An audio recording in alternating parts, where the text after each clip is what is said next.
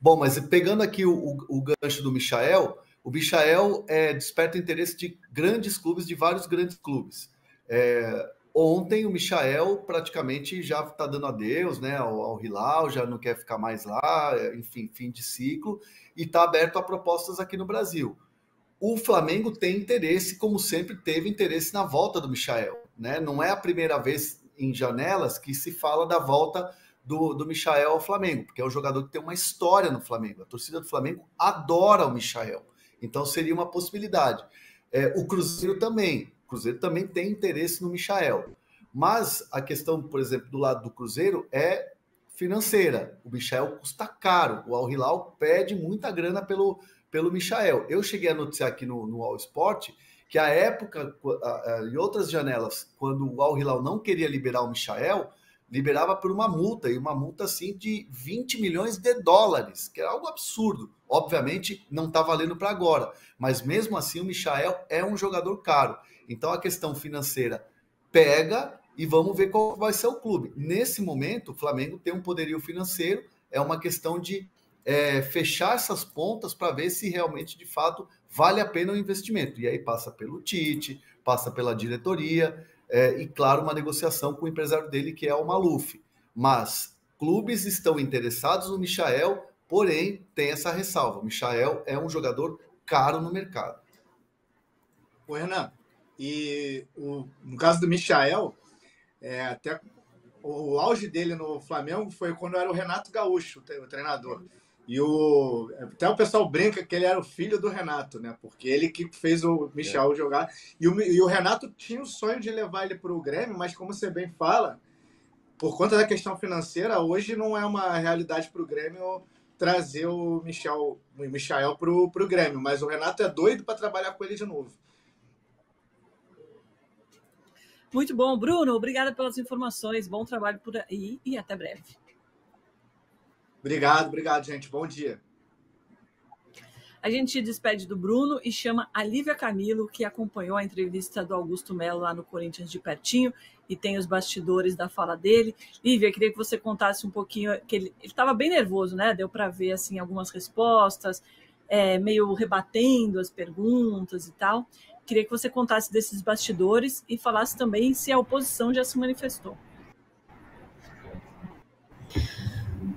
Bom dia, Domi, bom dia, PVC, André, e a todos os é, espectadores, né, os internautas que nos acompanham aqui no De Primeira. Bom, manhã difícil, viu, gente? É, acho que se eu pudesse descrever esses minutos, ainda está rolando a coletiva, mas descrever um pouco do que a gente presenciou aqui nessa manhã no CT Jurava foi é, desconforto.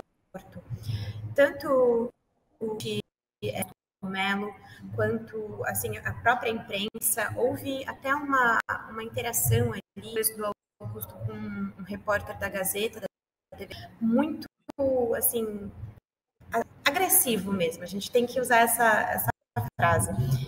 Enfim, houve um contato agressivo, é, muitas é, coisas ríspidas, perdas atravessadas. Então, assim, uma explicação do Augusto sobre a situação atual da, que ele tem feito para melhorar a situação, houve muito desconforto. No bastidor aqui, o que eu posso falar para vocês é muita gente no entorno da que com essas, esses últimos desdobramentos da ativa de imprensa do Augusto já estão falando em pular do barco.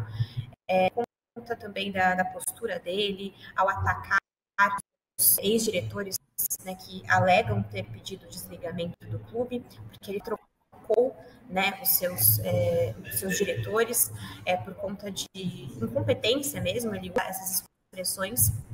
Então, é, já há uma, uma manifestação desses profissionais ligados em tentar reter essa situação. No mais, o que eu posso dizer para vocês é o seguinte: saio daqui com mais questionamentos do que respostas. Até porque quando o Augusto tenta explicar as coisas, ele é muito evasivo, né? Ele fala é, uma certa imprecisão sobre a situação relacionada também ao laranja da Vai de Bet e toda a questão da rescisão de contrato. Então, assim, é, dúvidas ainda a serem respondidas e acredito que teremos ainda muito pano para manga em termos políticos do Corinthians durante a semana. Perfeito, Lívia. Muito obrigada pelas informações. Eu vou me despedir de você antes da hora, porque a sua internet está picotando muito, mas deu para a gente entender o que você falou. Vou repetir um pouquinho aqui para a galera. Bom trabalho por aí, que eu sei que não vai ser um dia fácil, vai ser bem longo. A Lívia falou que os questionamentos continuam, né? Que os repórteres saíram da entrevista com mais dúvidas do que afirmações, como eu já tinha falado aqui, ele fugiu um pouco das perguntas. Um clima muito tenso por lá e com mais possibilidades de debandadas PVC. E aí eu estava vendo o Estatuto Social do Corinthians, que diz que se o presidente acarretar por ação ou omissão prejuízo considerável ao patrimônio ou à imagem do Corinthians, pode abrir um processo de impeachment. E aí seriam necessários 51 assinaturas para a abertura desse processo. E se ele fosse condenado, né, saísse do cargo, fosse deposto do cargo, aí o vice-presidente Osmar Stabile que assumiria durante os primeiros 30 dias para convocar ou não uma eleição, aí ele que daria a canetada final. É, muitas perguntas aí, né? Teríamos 51 assinaturas, pelo que você sentiu aí das entrevistas, dos bastidores, da, da oposição.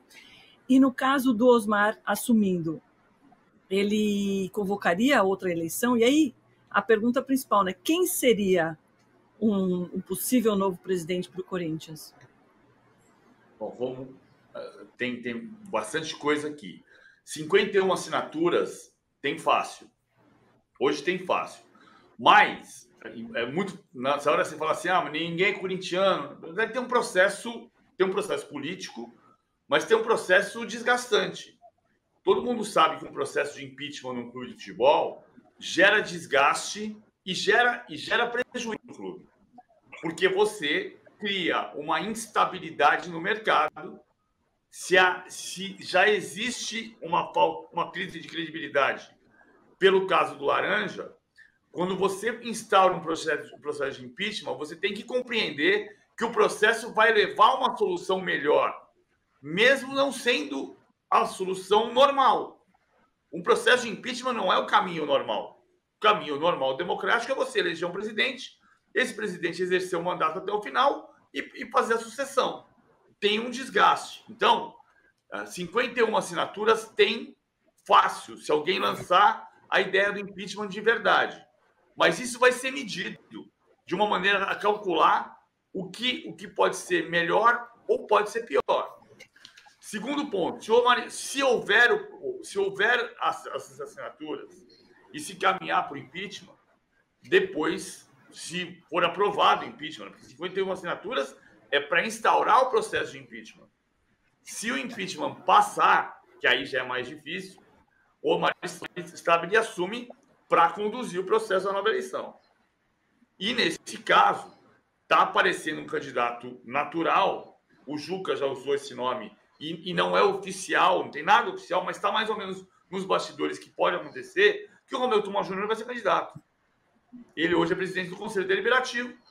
Ele é o homem apontado como cara do governo paralelo, que o Augusto Melo refuta, mas citou o Romeu Tuma Júnior como participando participando de um, entre aspas, grande trabalho na Comissão de Justiça.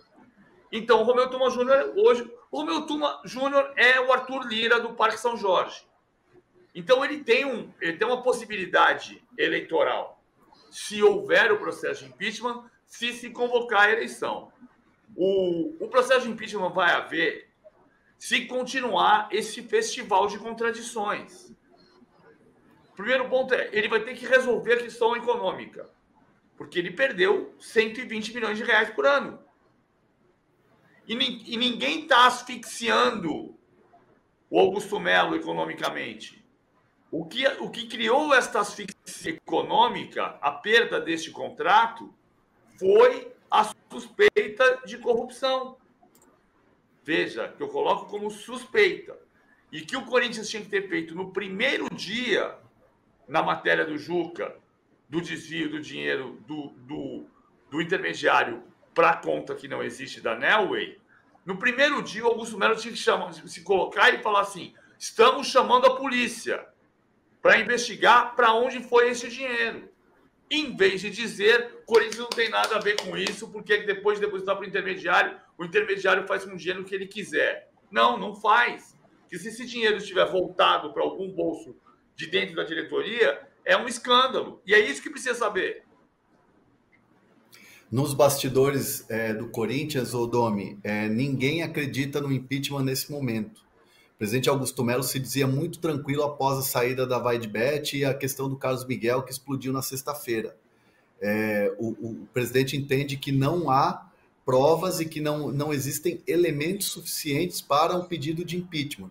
E ele diz que a gestão dele, e não, não só em entrevista coletiva, mas também para os seus pares e para a sua diretoria e para a sua gestão, ele diz que o trabalho está sendo muito bem feito e que essas notícias que saem são notícias repassadas pela oposição e que muitas vezes a, impre a imprensa conta. Palavras do presidente internamente no Corinthians. Então ele não acredita, não acredita num impeachment. E a oposição entende que ainda mas está todo mundo com a antena ligada, está todo mundo com a parabólica em pé. É, se acontecerem novas situações como essa de Vai de Bet, como essas de Carlos Miguel, como a, até mesmo do Lucas Veríssimo no início da temporada, aí sim vai abrir brecha para o impeachment. Hoje tem uma ala da oposição que entende que, por enquanto, não tem elementos também e que vão esperar mas está todo mundo atento em relação ao impeachment, está todo mundo de, é, é, com olhares atentos.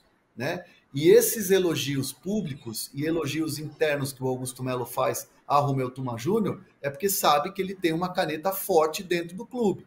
Então, até essa tranquilidade do Augusto Melo tem a ver com a boa relação que ele constrói ou quer construir com o Romeu Tuma Júnior, que tem a caneta na mão.